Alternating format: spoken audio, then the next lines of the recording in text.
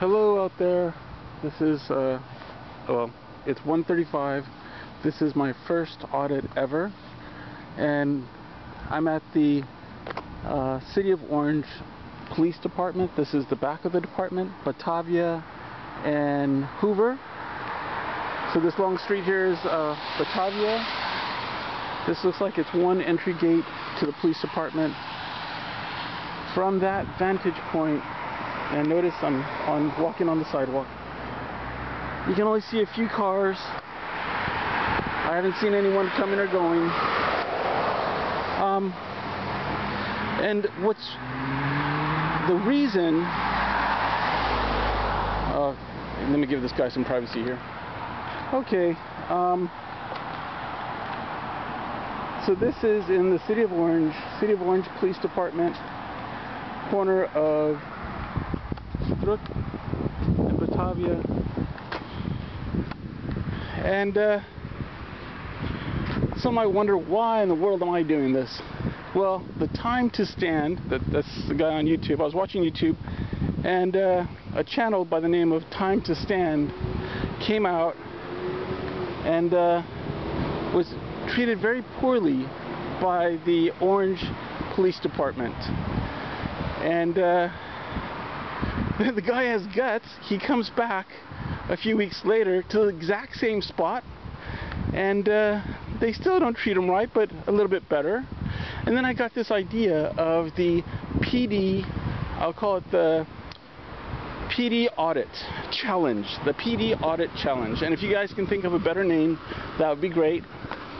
And so basically what I'm saying is that we just keep coming back to this spot and to the police get it in their heads that they cannot uh, harass a person who's doing illegal activity, standing on a, on a sidewalk where they're legally able to stand and film anything that is in plain view.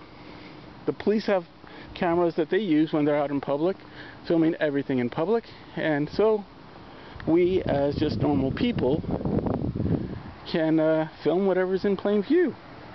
And when they stop harassing us, giving us a hard time for exercising our rights, then we stop.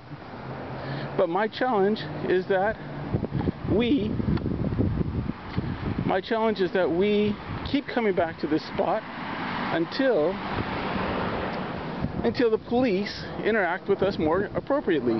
One way would just be to ignore us.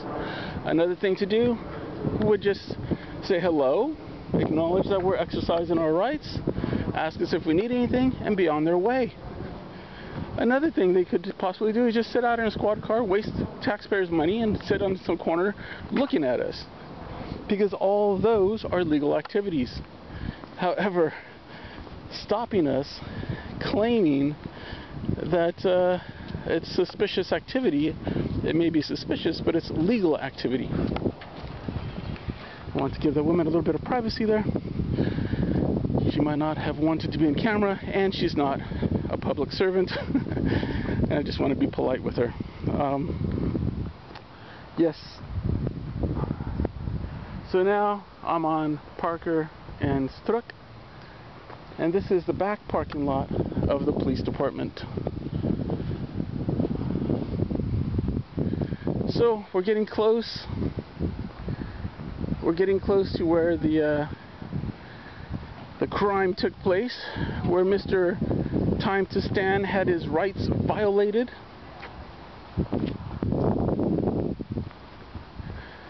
And uh, my memory serves me correctly, he was stopped here and told to sit down here for illegal activities. So that's the gate coming in and out. And I was really surprised, but back, at, this is a, a, dead end, a cul-de-sac, and at the end of the cul-de-sac, um, there are a bunch of homeless people living there. So if any of you guys want to come by and maybe give them some food and blankets, I'm sure they would appreciate it. Alright, so I'm going to stand here and I'll turn the camera back on when uh, when the police show up. So I've been here, let's see, six minutes, and they still haven't shown up. Alright, we'll see what happens.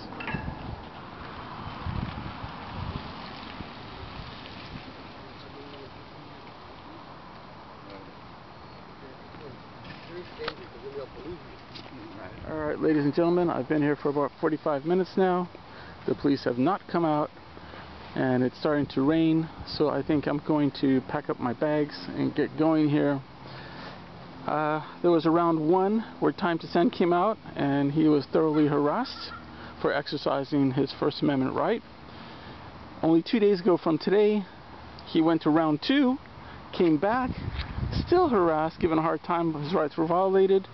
However, if I can call this a round three, which was only two days after round two, well, let's see, a rolling stop? Is that a rolling stop? I don't know. Maybe it was. Maybe it wasn't. Um, so that was round three. Today's round three. I've filmed multiple police officers. They've had ample opportunity to come out and challenge me, which they haven't, leading me to suspect that they have learned from uh, the first two encounters with Time to Stand, proving that he has made a difference. Perhaps they've had a change in policies, um, but they are not challenging me. So, in review, a police officer can just say, hey you, I want to talk to you. And even though you think he's acting as a police officer, it's just as if you and I were to say, if I were to walk up to a person and ask them what time it is. It's just a consensual encounter. That is level one. Level two is the police officer can articulate that he believes a crime has taken place and can articulate why he believes you've committed that crime. Um, he has to give facts. It cannot be a hunch or suspicion. Um, he has to be able to articulate what facts he believes. Uh, I swear to God, it looked like a five. More than a five. Sorry, I was easily distracted. So, level two reasonable suspicion that a crime has taken place and that you have uh, committed that crime, and he can articulate uh, specific facts uh, why he believes you committed that crime. He can detain you. Uh, during that detention, he can get the uh, your identification.